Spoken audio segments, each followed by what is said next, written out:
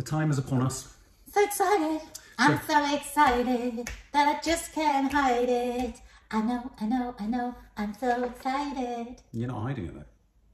I'm not hiding it. You're so excited. You just I'm can't. Hide. Oh no, you can't hide it. No, you're not. I tell you what, I'm having to hide. Huge, crushing disappointment. What on? Well, I was looking forward to Pete Davidson becoming Yeah. part of the cast.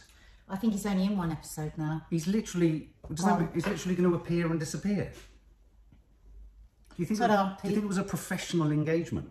No, I really don't. I just saw him in Bodies, Bodies, Bodies uh, screening last week. He, uh, he was very funny. He's very funny. He's very talented. He's a very funny man. So what can we look forward to in this? I can't remember where we were at. Where were we at? So where are we at? What work? Oh, now. Oh God. Jesus. Yes. What's up there? right at the end, of course, it was the horrible, horrible revelation that poor Khloé Ah, my favourite. had been cheated on yet again, Yes. and that um, the girl that her partner had cheated on was pregnant.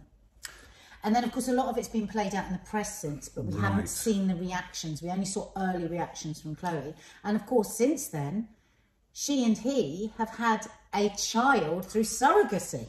So they went ahead with that. It, she was Oh, already it's happening. pregnant. The Oh, surrogate see, was she already, pregnant. Oh my God, Jesus The Jesus shit of a man he was Wow. is terrible person. Um, We have got the drama. I mean, I'm curious to know. Kylie was pregnant and she's now had her son.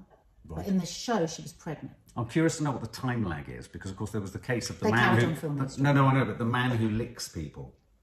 He when he, Oh, was yeah. rushed into hospital, wasn't What's he? his name? With, Travis uh, Barker. He's pancreatitis Pancreatitis. He was nearly a goner. yeah, exactly. That wasn't on the show. They'd only just got married, That's right. and she was very pissed off at how they were being portrayed on the show. Oh, we haven't seen their marriage. Oh, we haven't seen the wedding. We haven't seen But the of course, wedding. We've seen all of this. Big mistake to have stopped filming because so much has happened. Why didn't they just and run we've on? seen it all on the social media. Wow. Okay. Well, let's check it out. This is the oh Christ! This is the trailer for season two. This is like such a dream come true. You have no idea how iconic this is. You just have no idea. Season two is going to be insanity. Here we come. This is my good side, just to let you guys know. I feel like I'm becoming my own woman, but I really want to be my own boss. Going through what I went through was incredibly hard. I just feel that I'm a fish in a fishbowl. It's been such a season of independence. I really feel like I found my personal confidence. Honey, I'm the Marilyn and the Jack. Oh, it's a Marilyn Monroe dress. I should be really happy right now. I just had this new baby, but I cried nonstop for like three weeks. First time trying on my wedding dress. I'm just so excited for Khloé and Travis. Not Khloé and Travis. No, no. Whatever. It starts with a K. You saw all of the backlash on the variety interview? No one sympathizes with you. I'm mortified. I do understand why people were upset. You got this. We're built for this. Our family grows. First Kylie, now Khloé. It's going to be really exciting, and I am ready. I'm really mad at my sister. Kylie canceled last minute. She always seems to get out of things, and I have to take over. Are you doing the surgery? Don't tell my kids I'm scared. I wish we could have one boring day in this family. Same here.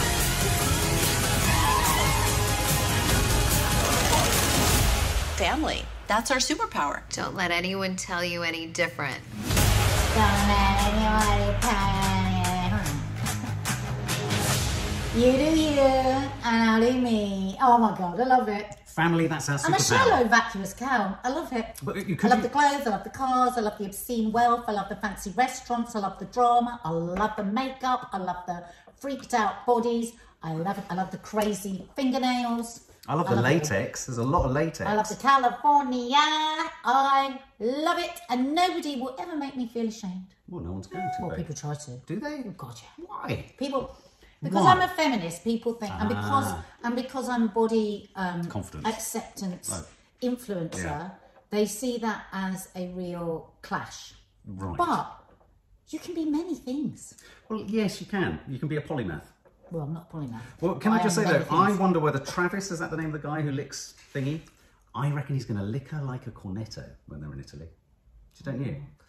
I hope they don't do so much. chew the chocolatey That's one thing. I don't want from this series. I don't watch as much as PDA because it does make me feel a bit queasy, especially when they do it when they're eating, especially when they do it in front of their kids. I just, I'm happy for them, really happy for them. It's the parting But of the buttocks. That's the bit that's a bit- It's just yeah, it's so. much. I mean, every time he picks her up, he Just- parts her buttocks. It's Yeah, too much. Absolutely.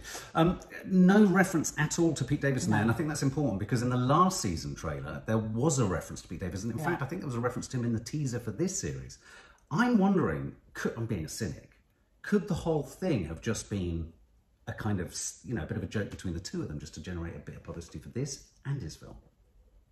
Well, you asked me that at the beginning. I said no, and so three minutes later, I still say no. I don't just- think just it's trying to PR put a bit more I meat think on the- it on was, the bones. I think it was just she was out of a very a marriage that had become very difficult. Mm. She talks a lot about being terrified of being forty. She's now forty-one.